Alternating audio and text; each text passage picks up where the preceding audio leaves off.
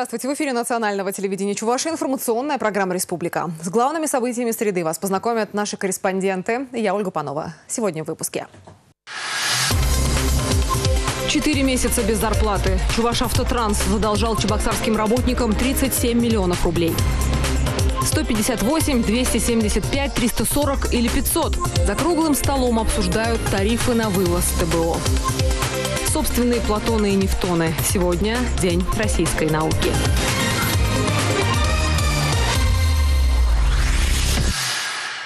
Вот уже четыре месяца водители, кондукторы и диспетчеры чебоксарского филиала Чуваша Автотранс работают на голом энтузиазме. Задержки выплаты зарплаты здесь, увы, не редкость. В последнее время сменилось несколько руководителей.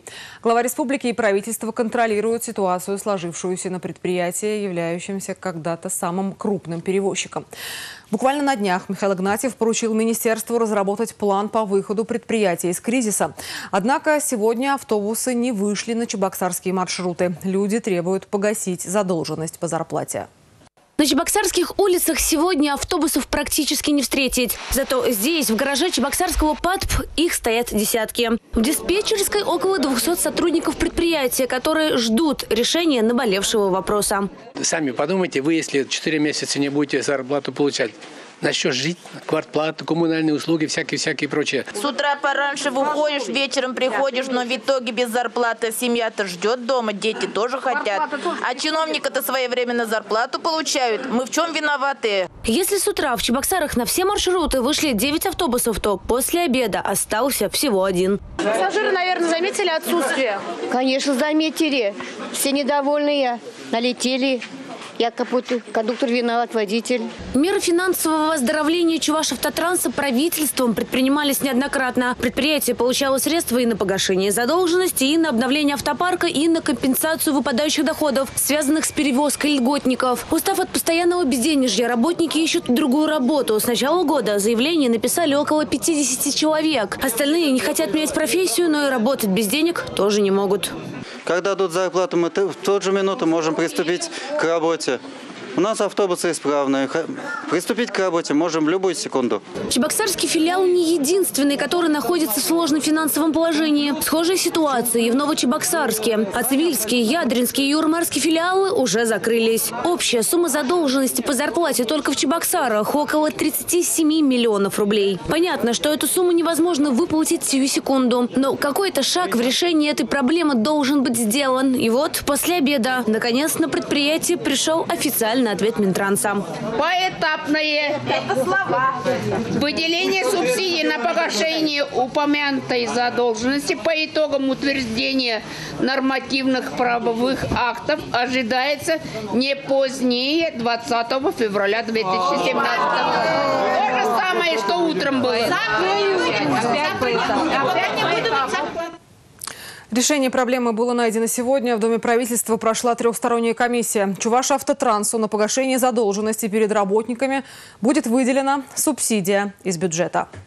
Вчера и сегодня с утра я выезжал на предприятие Чебоксарское ПТП, Новочебоксарское ПТП. А, провели мы беседу с работниками предприятия.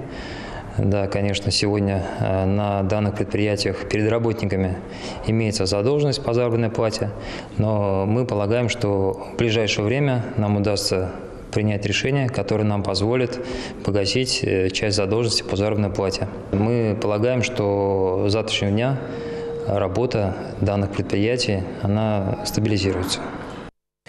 Назначен полномочный представитель Чувашской республики при президенте Российской Федерации.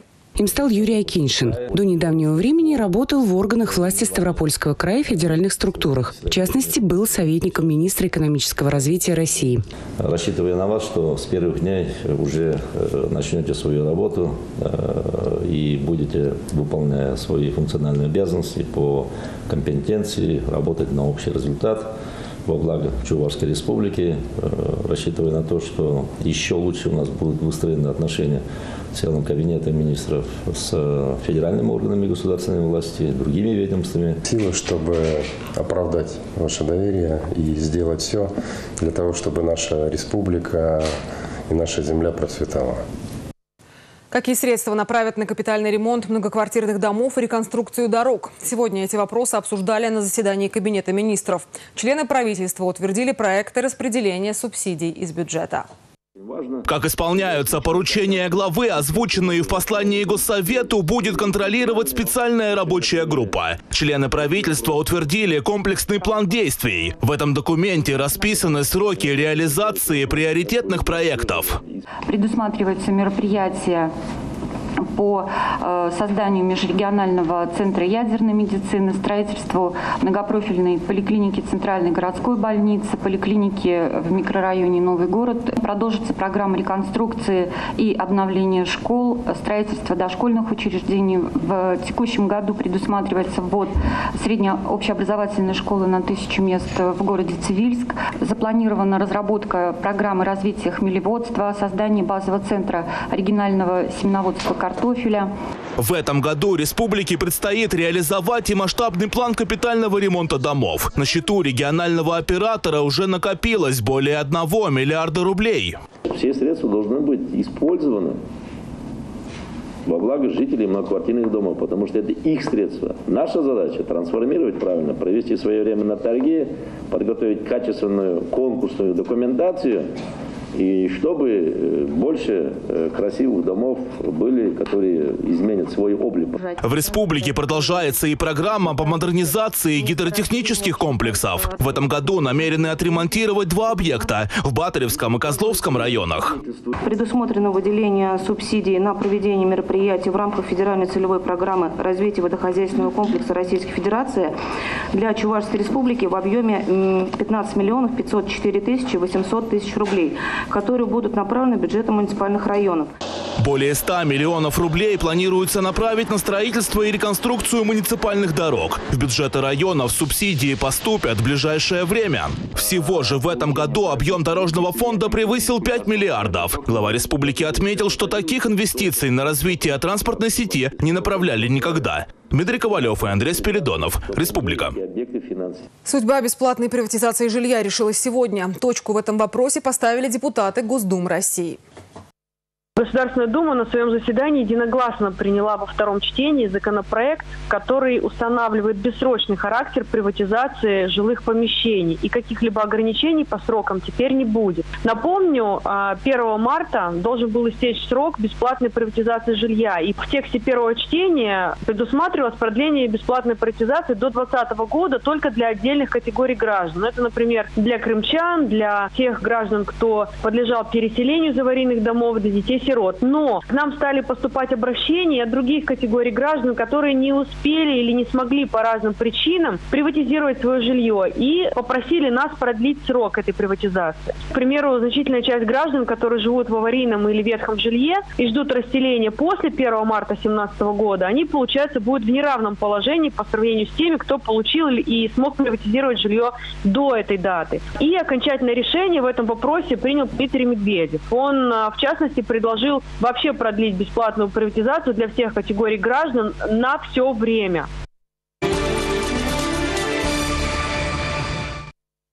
Чувашская Уфа теряет репутацию. Статья с таким названием была опубликована накануне на страницах одной из популярных газет. Журналисты усомнились в компетенции действий антимонопольщиков и выяснили, что многие претензии регионального ведомства оказались необоснованными. Реализация каких проектов была отложена из-за проверок антимонопольной службы. Свое собственное расследование провела наша съемочная группа. Заслуженный врач Валентина Телина рассказывает, насколько столице республики необходима новая поликлиника. Она должна расположиться в самом центре Чебоксар на проспекте Ленина. Проект реконструкции здания уже разработан. Здесь планируют оказывать не только первичную медицинскую помощь. В новом корпусе откроется и диагностическое отделение. У нас один диагностический центр э, в республике есть, но он мало его для всего населения республики, а у города ничего нет. Поэтому открытие вот этой поликлиники с диагностическим отделением позволило бы населению Ленинского района э, и всего города получать необходимые диагностические услуги, вплоть до компьютерного томографа, э, рентгеновского отделения самым современным оборудованием. Немаловажно, что на базе этой поликлиники планируется открыть женскую консультацию. на сегодняшний день, опять же, Ленинский район своей женской консультации не имеют.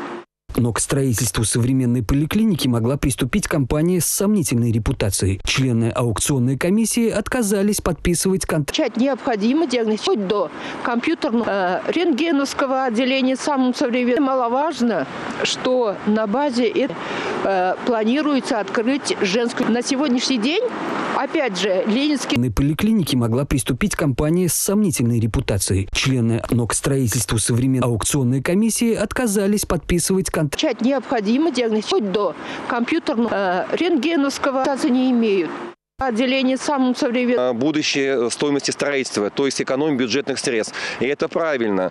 Но смотрите, что происходит. Ведь порой заявляются такие компании, которые идут по принципу лишь бы выиграть.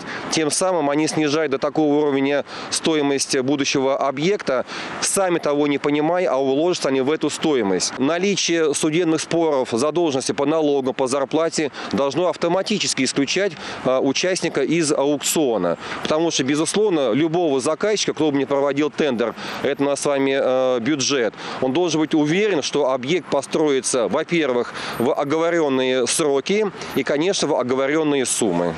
Долгое время в республиканском УФАС разбирались и с завышением стоимости вывоза мусора. На компанию, которая обслуживает полигон ТБО, было заведено антимонопольное дело. Но в результате в арбитражных судах Чувашии и Волговятского округа признали это решение незаконным. Разбирательство в отношении управления отходами прекратилось. Руководитель компании отмечает, было потеряно драгоценное для работы время. Юрий Малов почитал, что на запросы УФАС отправили более 6 тысяч страниц документов. Причем они чаще всего повторялись из раза в раз. Это для нас несколько удивительно на самом деле, ведь федеральные органы созданы для того, чтобы помогать в работе всех, а, в том числе инвесторов. В данной ситуации даже позиция, причем чувашского УФАС, она крайне расходилась с позиции УФАС по Российской Федерации. На сегодняшний день ни одного судебной тяжбы не проиграно управлением отходами с а, Управлением Федеральной антимонопольной службы Чувашской Республике. В то же время федеральные эксперты называют полигон ТБО одной из лучших практик страны и рекомендуют тиражировать в других регионах. Это комплекс один планируется, есть программа и, и второй очереди, и в республике программа с утилизацией мусора будет решена. При таком финансировании, вы про тот полигон забудете, та программа реализации, вот это «Чистый город», по-моему, она называется, она будет реализована. В УФАС проигрывали и другие дела. Авторы статьи отмечают, что вместо защиты прозрачных отношений между субъектами в региональном ведомстве используют свои полномочия как оружие в недобросовестной конкурентной борьбе. Родион Архипов, Дмитрий Ковалев, Сергей Адушкин, Андрей Шоклев. Республика. 158, 275, 340 или 500. Вопрос, сколько рублей мы будем платить за вывоз одного кубического метра мусора. Начиная с февраля волнует практически всех жителей Чувашии. Участники круглого стола, в числе которых министры, транспортники, глава администрации городов, руководители предприятий, решали, какую именно плату необходимо установить на услуги по сбору, вывозу и утилизации твердых коммунальных отходов. Мнение участников круглого стола о том, сколько должен каждый житель республики платить за сбор, вывоз и утилизацию ТКО, разделились. Предприятия-транспортировщики предлагают свои услуги по единой цене – 500 рублей за кубический метр и обосновывают ее утверждением новых тарифов на утилизацию ТБО. По расчетам, произведенным Государственной службой по тарифам Чувашии, получается другая сумма – 268 рублей за кубический метр. Такая цена была предложена после анализа фактических данных по объемам ТБО в городе Чебоксары. А Минстрой Чуваши, основываясь на нормах накопления ТБО в жилых домах, в свою очередь предлагает 340 рублей за кубический метр. У городских властей на этот счет свое мнение. Вообще есть три варианта подхода к расчету этой цифры. Первое – это фактические данные, которые представило спецавтохозяйство по итогам прошлого года. Один куб будет стоить 158 рублей. Это первый, самый дешевый вариант. Дальше. У нас есть норма накопления на одного проживающего. Составляет она 2,02 куба в год или 215 килограмм в год. Исходя из этого, один куб будет стоить 219 рублей. Третий вариант – это схема, а, территориальная схема по обращению с отходами. Один куб будет стоить 275 рублей. Итого имеем три цифры – 158, 219 и 275 Какую цифру мы должны применить? Вот в чем вопрос. Вопрос должен решиться после того, как Республиканская служба по тарифам проанализирует все документы и рассмотрит предложения всех заинтересованных сторон. Перевозчикам необходимо сегодня представить в орган регулирования все свои затраты, обосновать, каким образом сегодня произойдет изменение услуги по сбору, вывозу. Про утилизацию мы уже говорим. А, утилизация сегодня тариф органом регулирования установлена, она обозначена. Нужно определиться только с параметрами, какие коэффициенты применять э, для того, чтобы начислять это управляющим компаниям по итогам анализа всех представленных материалов, обосновав каждую статью, мы собираемся еще раз, проведем еще один круглый стол и уже определимся с конечной ценой. Напомню, с 1 января 2017 года услуга по сбору, вывозу и утилизации твердых коммунальных отходов из жилищной перешла в коммунальную. В новых платежках она идет отдельной строкой. До этого эти расходы учитывались в строке «Содержание и ремонт жилого помещения». Размер тарифов теперь будет зависеть от региональных операторов. Кроме этого, изменится и система начисления сборов. Ранее оплата за вывоз мусора исчислялась в квадратных метрах, а теперь будет зависеть от количества проживающих в квартире. Галина Титарчук, Сергей Адушкин, Андрей Шоклев, Республика. Глава республики Михаил Игнатьев обсудил с руководителем Московского автомобильно-дорожного университета работу Чебоксарского филиала и перспективы трудоустройства его выпускников. Говорили о строительстве, проектировании дорог, новых технологиях. Но все это невозможно реализовать без высококвалифицированных кадров. Я а, увидел, а, что у нас здесь есть хороший потенциал вот э, для такого опережающего сотрудничества вот в наших областях. Понятно, нас волнует э, вопрос физики, о чем мы э, сегодня обсуждали, поскольку Физика является для подготовки наших специалистов базовой, и от уровня знаний в области физики в конечном итоге зависит и уровень наших выпускников. Хорошая перспектива открывается для ребят, которые решили связать свою жизнь с инженерными специальностями. Возможности для непрерывного технического образования в республике уже созданы. Реализованы такие программы, как детский технопарк, инженерные классы в школах, технические кружки в учреждениях дополнительного образования. Важно, чтобы этот ресурс работал на благо Чувашии, отметил глава республики. Татьяна Филатова, Андрей Спиридонов, Республика. Сегодня День российской науки, праздник полета мысли и здоровых амбиций. Михаил Ломоносов в свое время писал, что может собственных Платонов и быстрых разумов Нефтонов российская земля рождать. Сегодня в Чувашии наградили участников конкурса «Лучший молодой ученый». Герой нашего следующего сюжета, заведующий кафедрой Чебоксарского филиала Московского политехнического университета Денис Федоров, признан победителем. Благодаря школьной программе большинство из нас при слове «ученый» представляет портрет почтенного седого старца с отсутствующим взглядом в рамке из формул или труднопроизносимых слов. Но современные молодые ученые совсем другие. Когда мы с папой купили наш первый автомобиль, и у нас в деревне просто-напросто не было дороги, это была проселка. Прошел дождь, и однажды мы с ним очень сильно застряли. Вышли, я толкаю-толкаю, и смотрю, вот одно колесо, оно крутится, другое не крутится. И вот э, резко вот у меня, вот я даже папа спрашивал, папа, а почему такая ситуация? Почему одно колесо крутится, другое не крутится? Вот если бы уже оно крутилось, тогда мы бы сейчас выехали. И вот он говорит, вот пойдешь учиться. И как раз тогда вот вставал вопрос, куда же пойти учиться, что выбрать, какое направление. Денис Федоров несколько лет мечтал посостязаться с коллегами из других вузов в техническом творчестве. Но необходимо было выполнить ряд условий. НИОКР, статьи, патенты, ученая степень. Как только защитил кандидатскую, сразу подал документы на участие в конкурсе «Лучший молодой ученый Чуваши». Свою научную работу Денис посвятил разработке технологии почвозащитного земледелия. В своих исследованиях работал над снижением энергозатрат затрат на обработку почвы с помощью ротационного плуга. Все, чем мы занимались на протяжении вот этих восьми лет, да, вот после вот обучения вот в данном институте, э, наконец нашло призвание. Э, и для меня было это очень отрадно. И после этого я понял, что нельзя останавливаться, надо двигаться вперед, нужно. Говорят, гениями не рождаются, становятся. Насколько это утверждение верно, еще предстоит выяснить путем научных изысканий. Пока же определенно можно сказать, если поддерживать человека в исследовательских творческих устремлениях, он может стать настоящим ученым. Елена Гальперина, Дина Кустова, Сергей Адушкин. Республика. Такой была эта среда глазами корреспондентов программы «Республика». Я, Ольга Панова, с вами прощаюсь и до встречи в эфире национального телевидения Чувашии.